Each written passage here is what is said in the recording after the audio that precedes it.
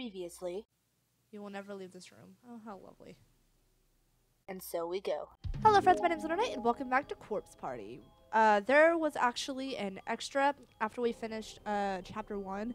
It gave me the option for an extra bit of the chapter, so we're actually going to play that right now.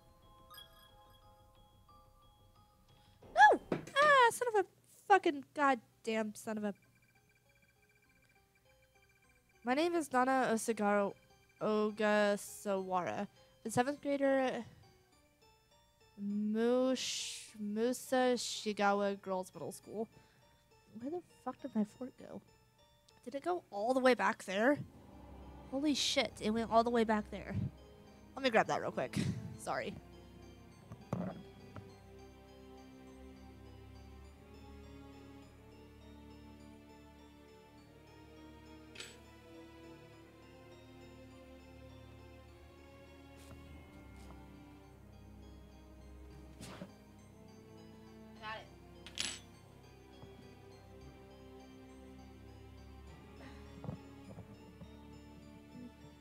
Like it never happened.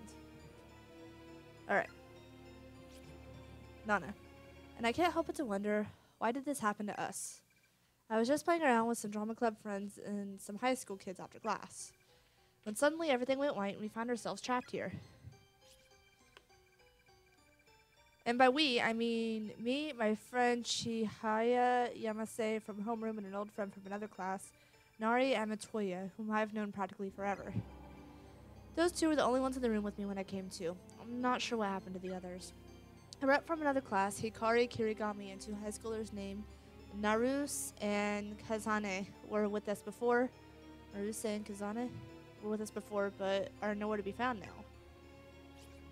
So Chihaya, Chihaya, Nari, and I have been wandering around these halls aimlessly for quite some time in search of them.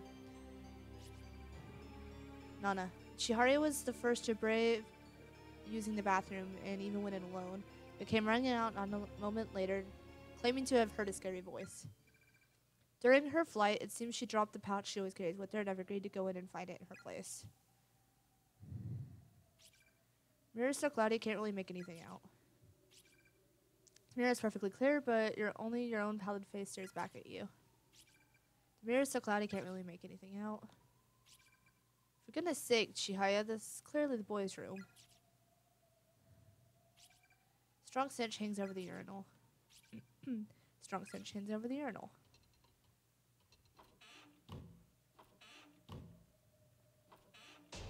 Ah. Shut the goddamn door. Eek! Who, who the heck was that? That was definitely a voice. Aha, found it. No cat. There's a pink plastic pouch on the ground. Pick it up. Well, yeah, that's why I'm in here, isn't it? Inquired Chihaya's pouch. No. No cat. Get down, cat. Okay. I got the pouch. Nana. Chihaya, I found it. Here. Handed over Chihaya's pouch. Yay, thank you. You know, though, when you drop something, shouldn't you be the one to go look for it? No, cat. I love you, cat. Sorry. Mm, Chihaya. Er, I'm.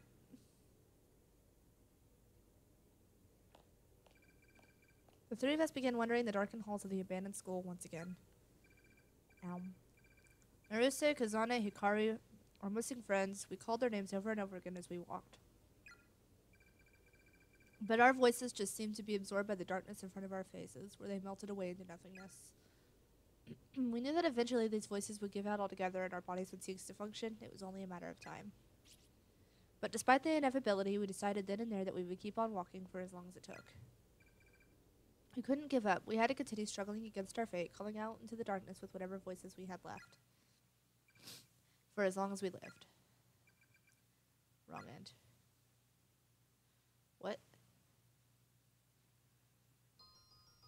Was there another way to do that?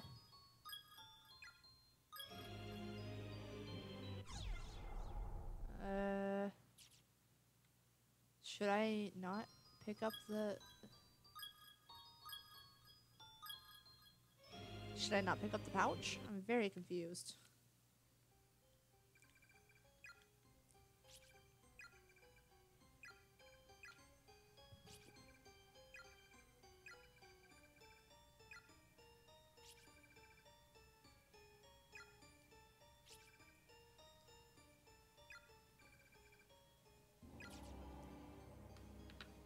Maybe I shouldn't look in the stall this time?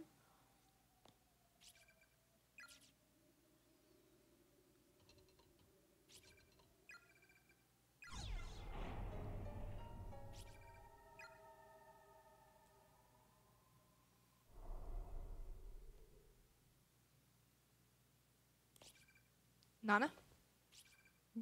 Eek! It's. Oh, it's you. Don't scare me like that. Sorry, you've just been in here for a while, so I was getting a little worried. Is everything alright? Yeah, everything's fine. Thanks, though. Great. I'll stay with Chihaya then. You finish what you're doing, but please hurry it up. Hello? Is it a, a ghost? Most impressive. You found what you're looking for without searching my stall. People have been barging in on me a lot lately, you see. I've been gathering, getting rather uppity with the living for always shamelessly opening the door with reckless abandon, as your comrade did a moment ago. See, I'm quite easily frightened as it happens. The only place where I feel truly safe and at home is this restroom stall. It's strange. I can't explain why, but I don't find this person scary at all, even though he's clearly a ghost. hmm. As the spirit sways from side to side, the faint blue light radiating from his body twinkles through the room. Okay. Have a good day. Uh, I found it here. Hand it over the pouch.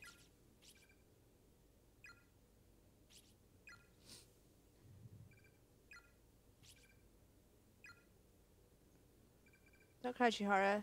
There's nothing scary in there. In fact, quite the opposite. There is actually a ghost, but he's friendly and he even talked to me. You serious? Isn't that, like, dangerous? No, it's totally fine. He seemed like a really nice person. I don't suppose you'd want to meet him yourselves, would you? What? I think I would.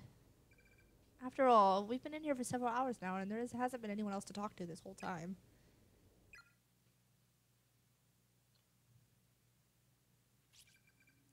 It's really true. He's not scary at all. If I may, I have a favor to ask of you three. Some rogue friend fiend has abscond, absconded with my prized gentleman's set, by which I mean my hat and glasses. If you should happen upon them in your wanderings, would you be so kind as to return them to me? Hmm. Uh, sure thing. So your possessions have been stolen then? That's terrible. Wait here, we'll find them. You are too kind. Hey, I can do things. Looks like our noble party of adventurers has accepted the quest. Let's give it everything we've got. Righto. This is so ridiculous. Find the gentleman's glasses. Okay. Keep our restrooms clean. Start with this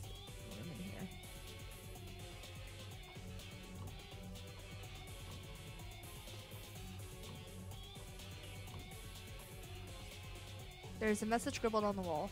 Try the stall to the right. One more over. One more over. Too far, go back one. There's a pair of sunglasses in the stall with the star-shaped lenses. Uh, take them. Acquired superstar sunglasses. I think it would be really hard to look good in these.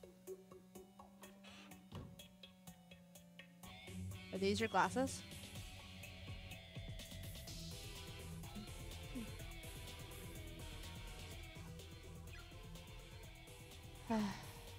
Spirit stuck out his lower lip and shook his head quite fervently. Seems like he doesn't care much for them. Guess they're not his after all, unsurprisingly. I'm gonna die now that I took these random ass classes. Oh, hello. Looking for something? I'm sure you won't find it downstairs anywhere.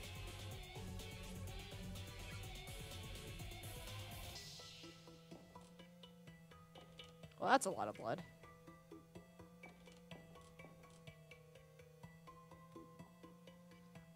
Hello? The guy to the west is a liar. You mustn't believe a word he says. Well, that's not helpful at all.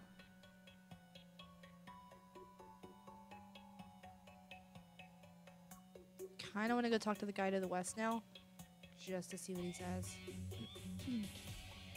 guy to the south is a liar. You mustn't believe a word he says. So who's the liar here?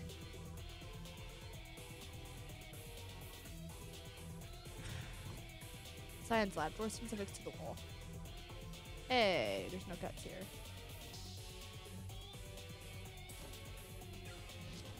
Oh.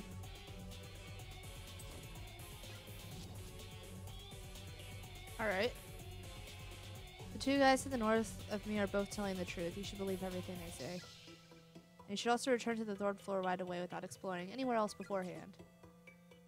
I don't believe you for a second. I need to find the glasses. Well, hello. There's a pair of distinguished looking glasses sitting on the banister. Take them? Yeah. Are the distinguished glasses? Should I keep looking or do I just go? Spirit's not here anymore. My leg really hurts, Nana. Mm, my Chia, Chihaya, I think I need to rest for a bit. This is too much for me.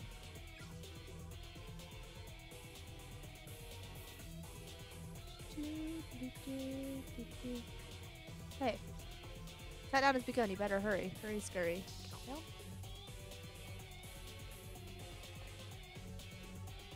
What's even happening? Find what you're looking for? I mean, I guess.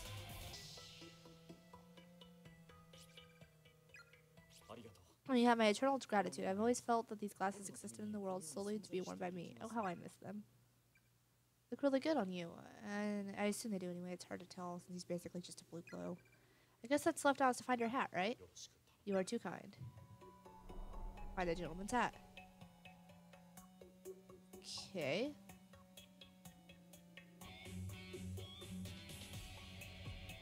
Hey. Hello. Whoa.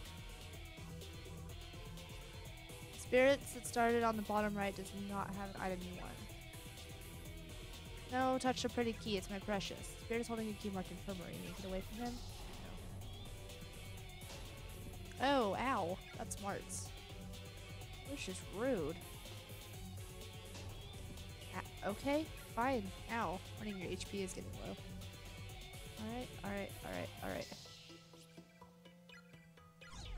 Yeah.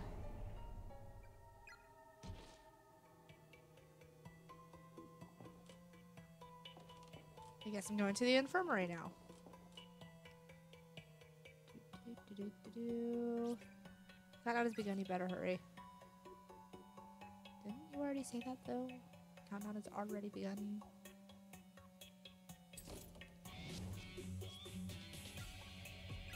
Yes. Why wouldn't I use the key that I literally just got? Wow, it's really dark in here. Hey, there's an extra thing. The journal seems almost decorative as if it were part of the desk. Medicines and tonics. Alright, let's grab this then. It's a hat. There's a felt hat on the ground that seems to radiate air of luxury and refinement. Take it. Yes, please. Acquired felt hat. Do do do. Now what? Chihaya? I'm tired. I hate this. I want to go home. Chihaya, it's okay. We'll get out of here. I know we will. Hello? How can you even say that? What possible reason can you have for believing that we'll ever be able to leave this place? Chihaya. Are you saying I can hold you responsible if we never get home again? Chihaya, that's enough. I've had about all I could take of your whining. Holy hell. We're not in the safety of our own familiar little world anymore. People aren't going to bend over backwards to spare your feelings here. We're fighting for survival. It's every girl for herself. So don't ev- think for even a minute that we're going to stop and console you every time you have a damsel distress moment just because we're your friends. Mm, ah. Go ahead and cry. See if I care. Nari, that was totally uncalled for. Not everybody's as strong-willed as you, you know. Fine. Do whatever the hell you want, then.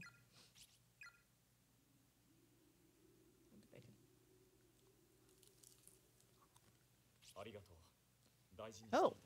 Oh my. You have my thanks once again. I've always cherished this hat, you see. It was especially selected for me by Tanaka, one of my most beloved sword subordinates.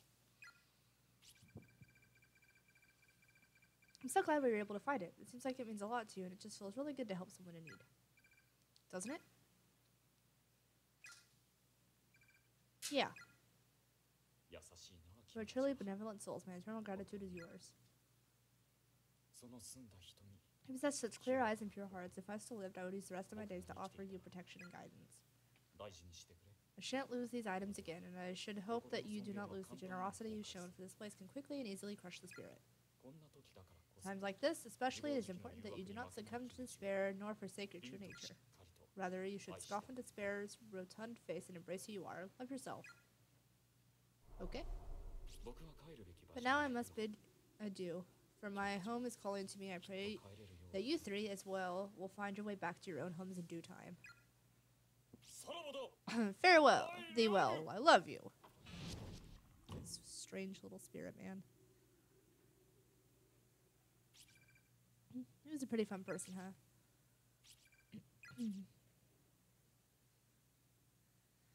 Alright then, was that it? Although still apprehensive about our surroundings, we felt slightly better having done a good deed and held our heads high as we exited the bathroom. From then on, we began wandering the darkened halls of the abandoned building once again.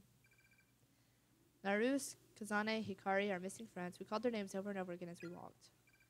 But our voices just seemed absorbed by the darkness in front of our faces where they melted away into nothingness. We knew that eventually the voices would give out altogether and our bodies would cease to function. It was only a matter of time. But despite the inevitability, we decided then and there to keep on walking for as long as it took. We couldn't give up. We had to continue struggling against our fate, calling out into the darkness with whatever voices we had left. For as long as we lived. Did I do it? Hey, I did it. Cool. Little bonus level. See you next semester. Hmm. We good? Hey. Awesome. So, yeah, thank you guys so much for watching. I will see you in the next episode of whatever I decide to make. And I'm setting out. Bye.